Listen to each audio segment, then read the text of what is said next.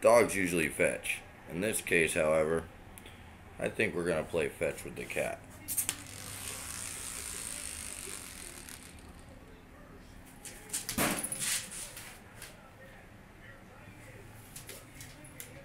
Good boy. This is Chuck, the fetching cat.